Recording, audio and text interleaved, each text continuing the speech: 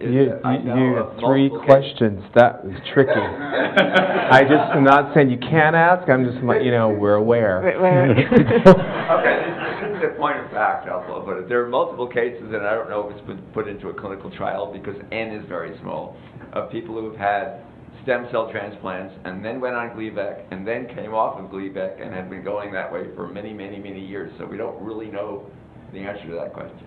Yes, there are a small number of people who can go off Gleevec and who seem to be, quote, cured of CML, but it is a very small number.